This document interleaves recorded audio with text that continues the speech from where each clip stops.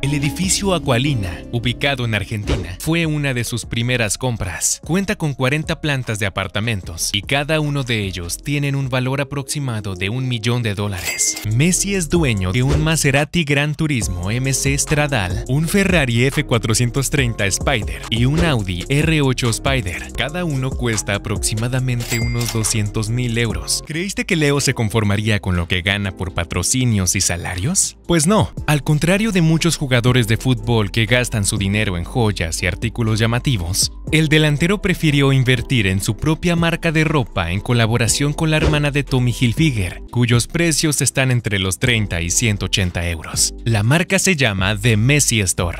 Messi compró en 2018 un jet privado por unos 15 millones de dólares. El modelo de este avión es el famoso Gulfstream 5 del 2004.